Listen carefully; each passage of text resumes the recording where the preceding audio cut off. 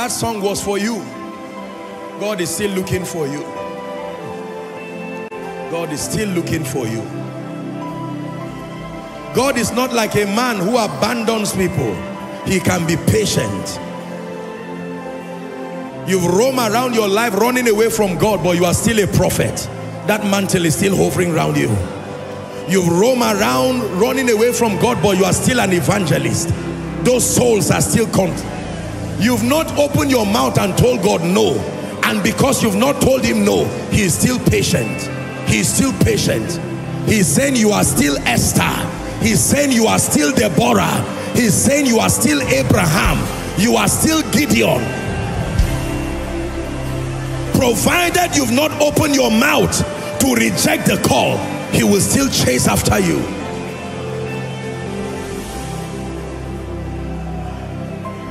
No shadow you won't light up, mountain you won't climb up, coming after me.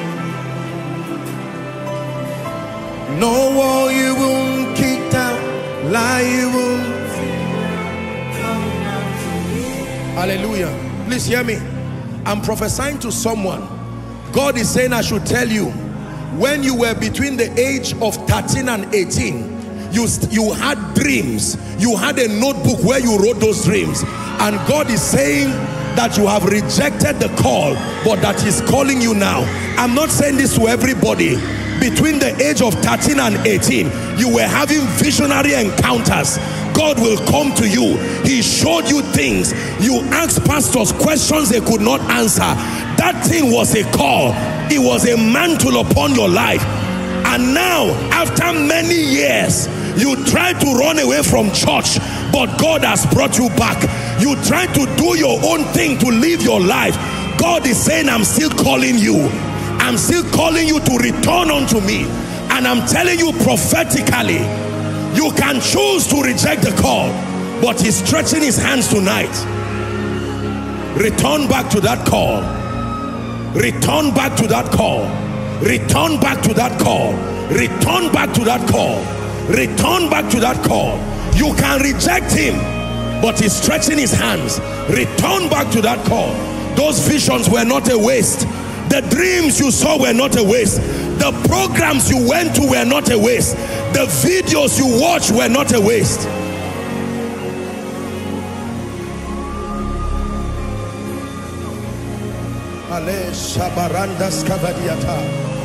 Someone shout again, say, Here am I. Send me. Here am I. Send me. I am available. I am willing. I am yielded. I am available. I am willing. I am yielded. Listen, listen, listen. Please, I want you to listen to me. I will return back preaching, but I'm prophesying now. I want you to listen to me. I'm hearing in my spirit again. This is particularly to a lady this is particularly to a lady. The Lord is telling me that I should tell you that there is a healing ministry God promised you. A healing ministry He gave you. But until now, you have not opened up your spirit to receive that anointing. It's a healing ministry. Not just a teaching ministry. Not just a prophetic ministry. It's a mighty healing ministry you have seen this many times. Prophetic words have come concerning it. But you see, let me tell you, for every call, there is a consecration that follows calls. Just because God called you does not mean you will be called. Don't let people die because of rebellion. No. There are people here who have been called by now. You should have been commanding wealth of nations for the sake of the kingdom. But because you have chosen to do it your way, the foolishness of God's way, you see, God's way does not make sense. You can push him and say, I know how to make money by myself. And you keep struggling and going around in circles.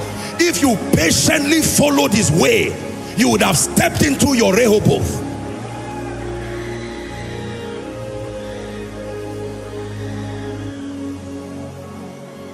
In one minute, can someone cry and say, Lord, I repent, I return, I return, I repent, I repent. I'm tired of going my own way, tired of creating my own programs for my life. Come on, someone is praying. You're following online, pray. I'm tired of inventing my own way to living my life and my destiny. I'm ready to return to the blueprint. I'm ready to return to the manuscript. No matter how you've deviated, his mercy can bring you back. Lord, you called me a worshiper. I'm ready to return to my office. You called me a worshiper. You called me a businessman. You called me an entrepreneur for the kingdom.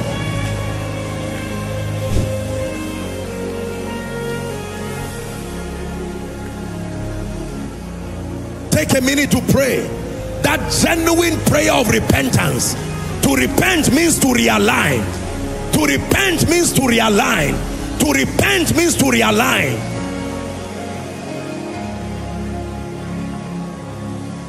Halantas kabrata kaberekas kavrasibelakata. Saliberentos kobrate balakapariata. Take a minute. Let it be genuine repentance from your spirit. I cannot lose this call. There is so much that is vested upon my life. Someone is praying.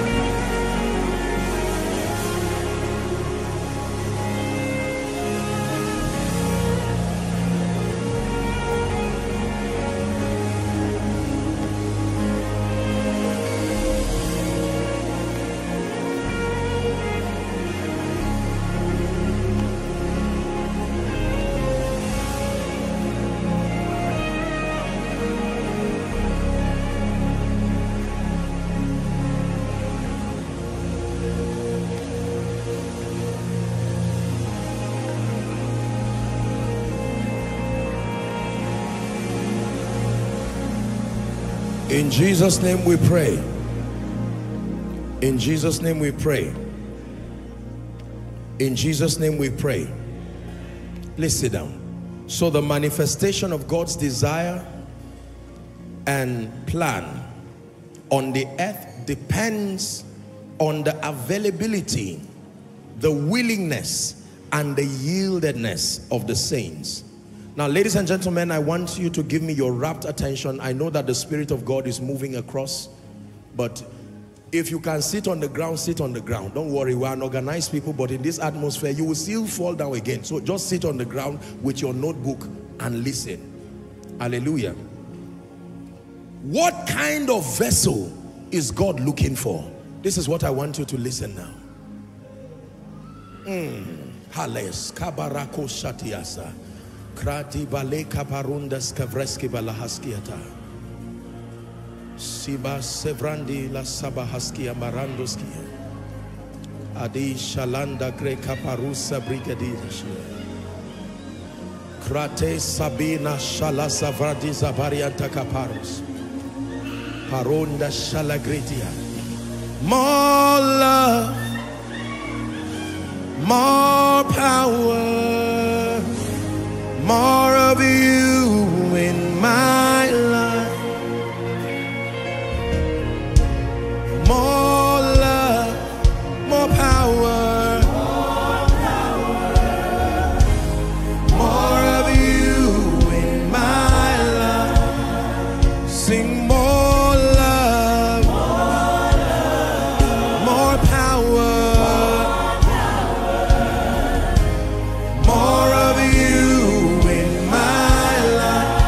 time. Sing more love, more power.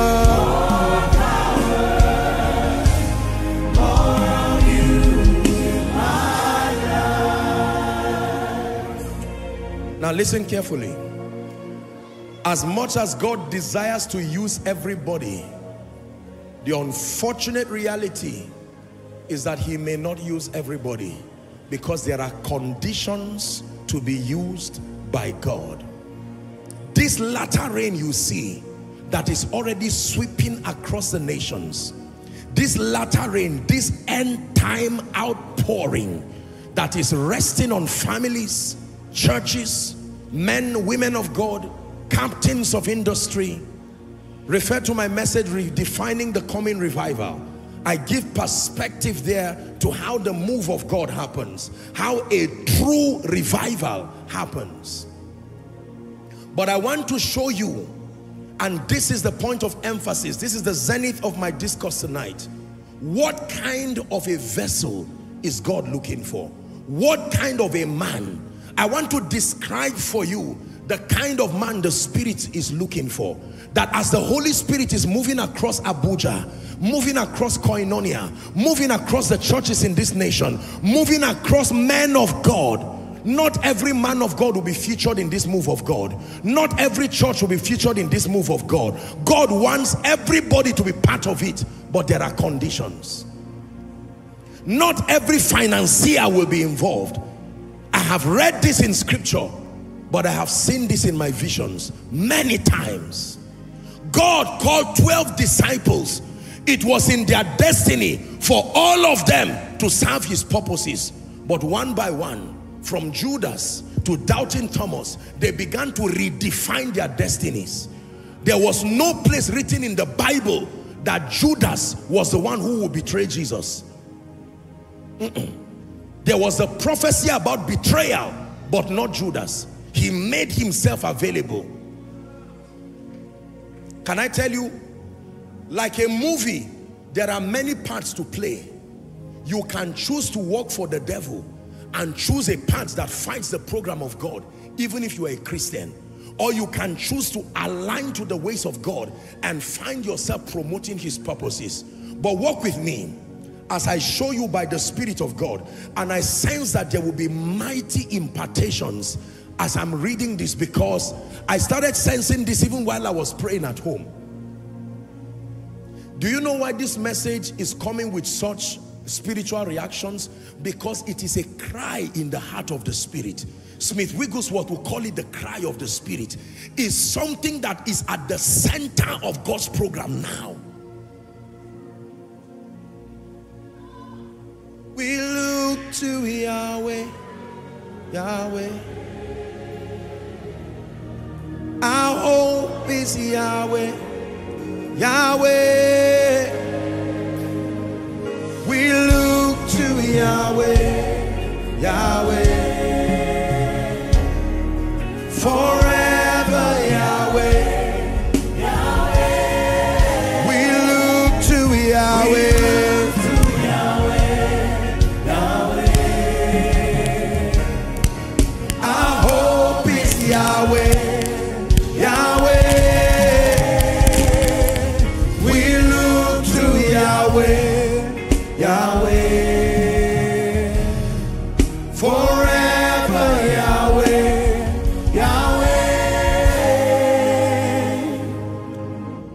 Sit down and prepare to write.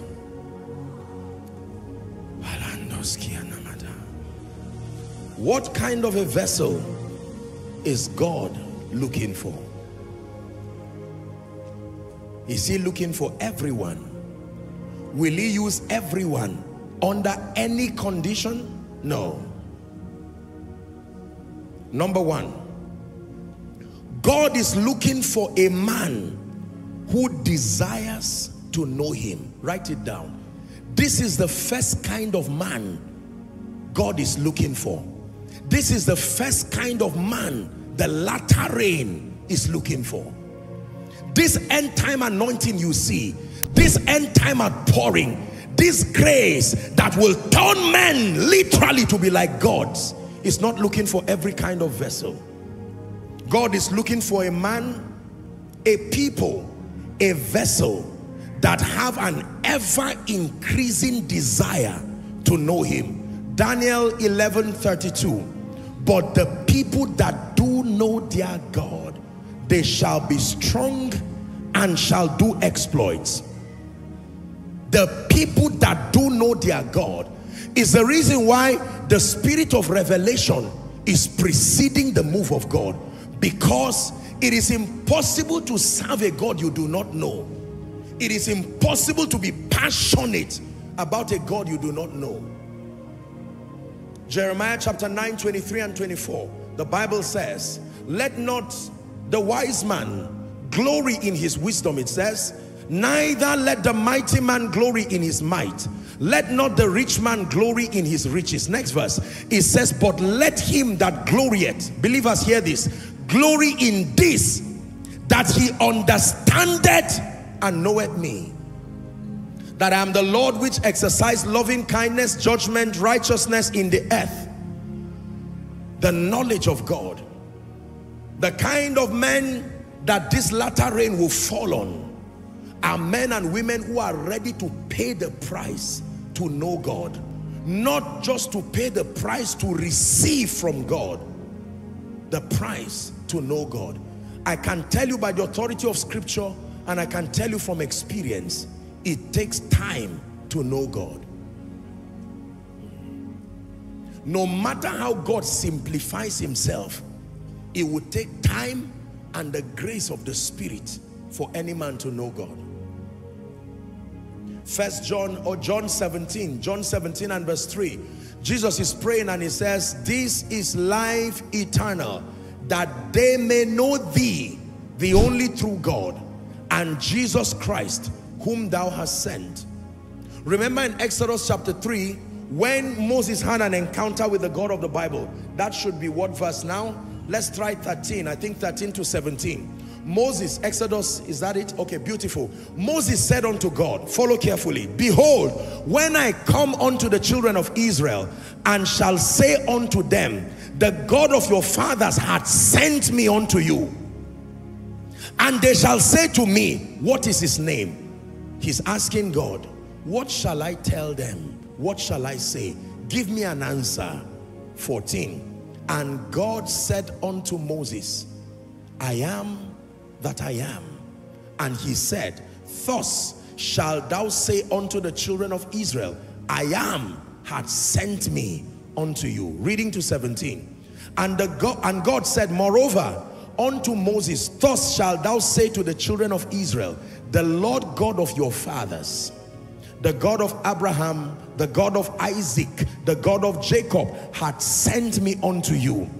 This is my name forever, and this is my memorial unto all generations. Two more verses. Go, he says, gather the elders of Israel together and say unto them, the Lord God of your fathers, the God of Abraham, of Isaac, of Jacob, appeared unto me, saying, I have surely visited you and seen that which is done unto you in Egypt. The final verse, and I have said, I will bring you up out of the affliction of Egypt unto the land of the Canaanites, the Hittites, Amorites, Perizzites, Hivites, Jebusites, to a land flowing with milk and honey.